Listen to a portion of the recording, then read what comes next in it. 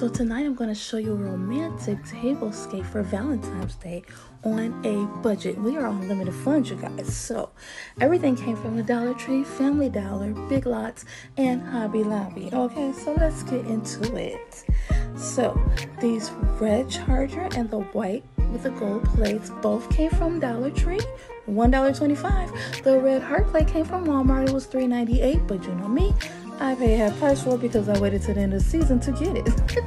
the glasses came from Dollar Tree as well as these glasses that I turned upside down. And I made it like a little vase for the white candles. Ah, the candles came from Hobby Lobby and these two on the side came from Family Dollar. This little heart ornament, I decided to use it for decor.